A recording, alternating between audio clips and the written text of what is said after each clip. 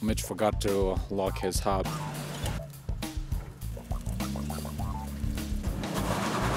Old iron.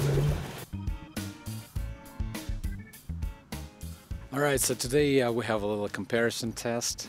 We have um, three vehicles representing three decades. We have uh, 1987 Jeep CJ7 uh, with Laredo package, uh, which was just a appearance package mostly. Uh, we have 1997, uh, I'm sorry, 1996 uh, Toyota Land Cruiser.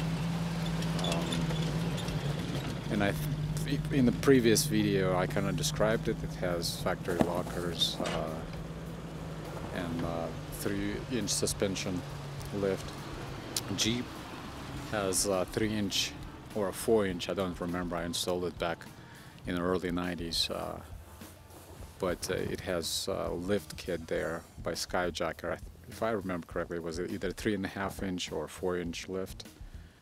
And then we have 2008 um, Hummer H3 with adventure package, which came with uh, rear locker, uh, 456 gears, and uh, and the rest of it is just the add-ons like a roof basket and uh, uh, the winch bar and things like that.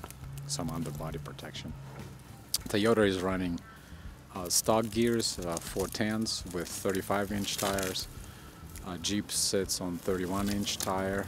Um, those are super swampers. Uh, Land, uh, Land Cruiser has uh, BF Good, Goodrich KM, uh, KM2s, and Hummer has uh, what does it have? Toyos, I think, uh, all-terrain tires. Uh, so, um, and uh, it's all stock height uh, and stock suspension.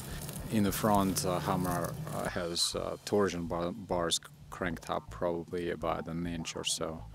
Uh, so there's no modification to the suspension. So to, to the suspension, it's just uh, what are we gonna do today to um, to see the difference difference between different generations, different, uh, uh, and of course, Hummer has independent front suspension, but it does have a rear locker. Toyota is probably in the best position of right now. It has both solid axles, and um, it has uh, it's locked up both front and rear.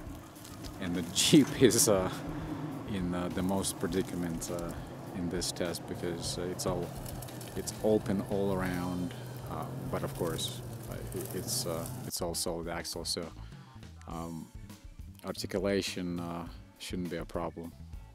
That uh, Skyjacker suspension is pretty pliable, so it should do okay. But what we're gonna do is we'll attempt to climb this hill here. Um, it's pretty steep and it's all loose, mostly sand. And we'll see how each of them will do and how uh, they will be able to climb. So let's get on with it.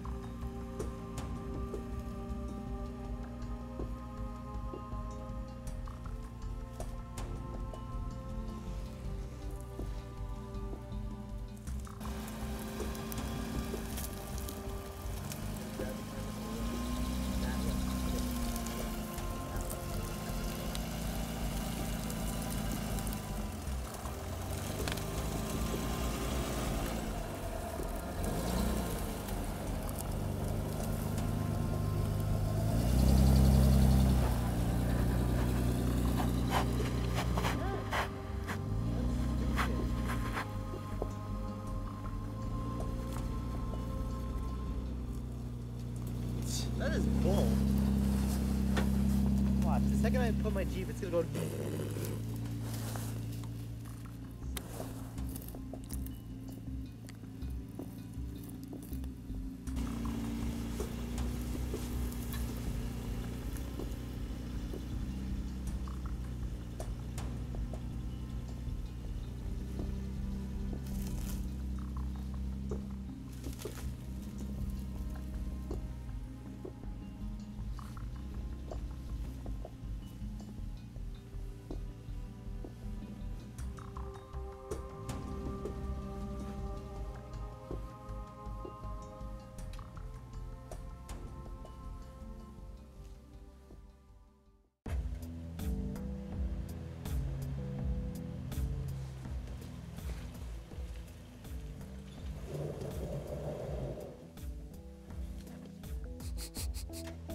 That was fast.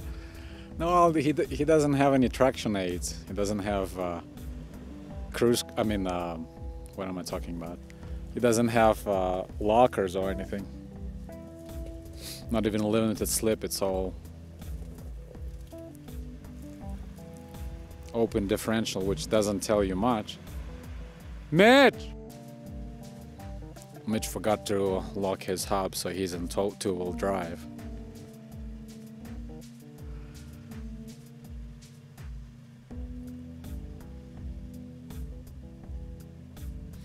Well, the good thing is he made it all the way out here without uh, um, within two-wheel drive. There we go. That's much better.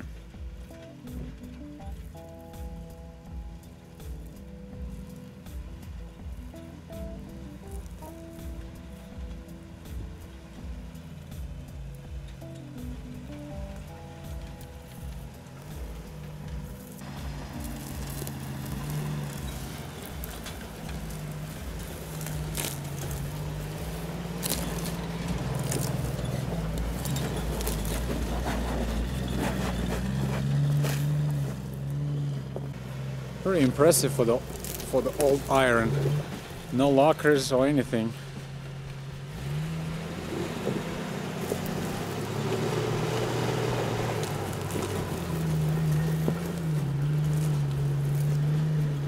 Just keeps humming along.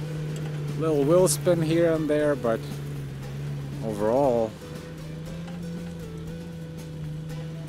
it's still got it.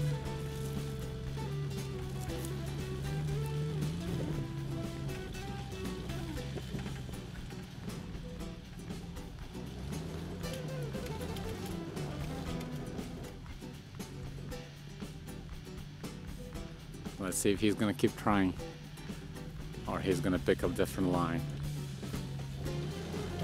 Okay, got a little bit got a little bit more wound behind it and well, come on Mitch. Bad timing.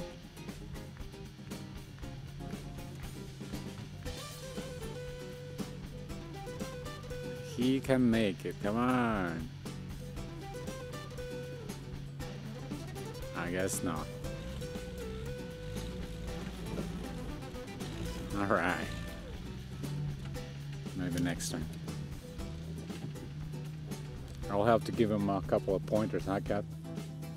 Because he would have made it if he would just uh, timed it perfectly. He would start accelerating a little bit too late, and I just didn't have enough momentum.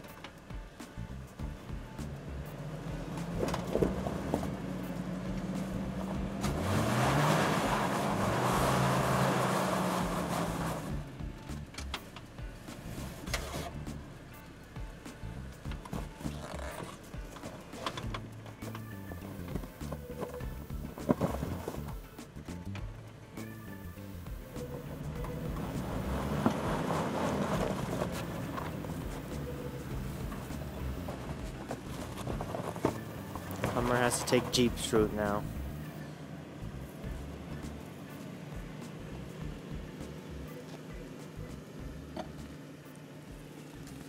Only Cruiser was able to make it.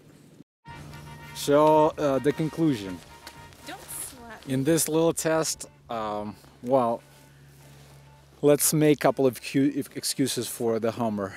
First, uh, the all-terrain tires. I don't really think they helped. On the sandstone, they should be all right, but in all that uh, loose sand, I think, uh, at least I always pr- preferred to be on the mud terrains.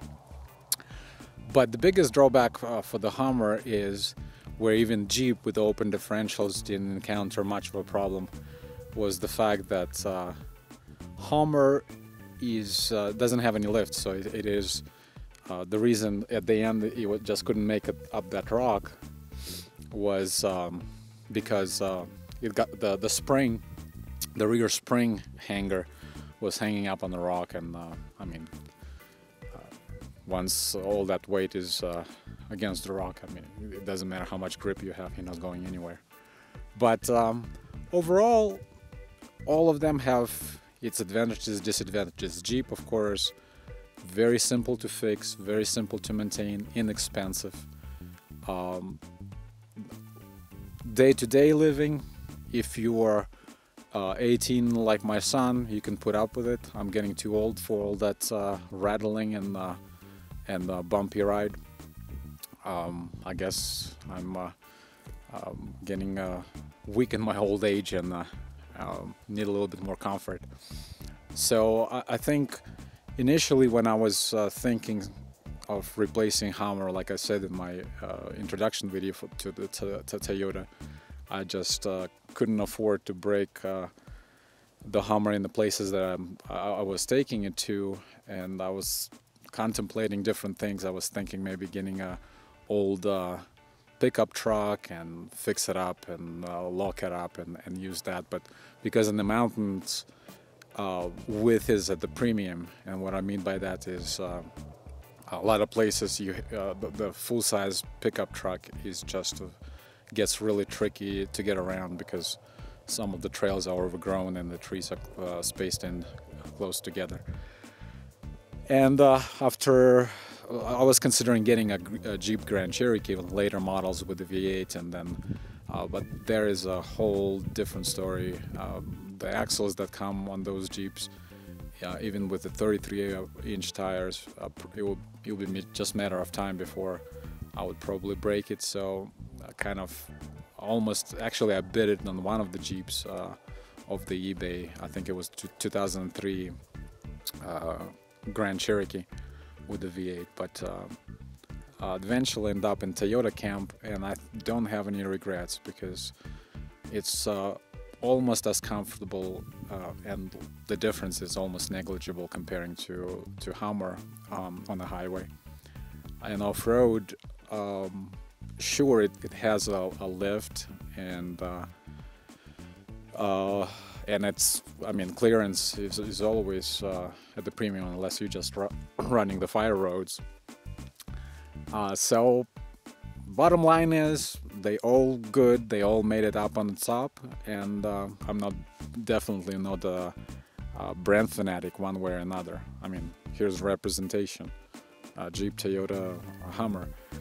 But uh, like I said, all of them have is advantages and uh, disadvantages and uh, but uh, as for my daily driver and my trail rig Toyota at the end of the day I, I think it was pretty uh, pretty good uh, decision to to go with it of course it still needs some work before I get really tough trails that bumper will have to be removed and a little bit tougher bumper put in, uh, but overall it's uh, it's almost ready, almost there. So we'll uh, be posting more videos, and uh, uh, thanks for watching. We'll see you next time.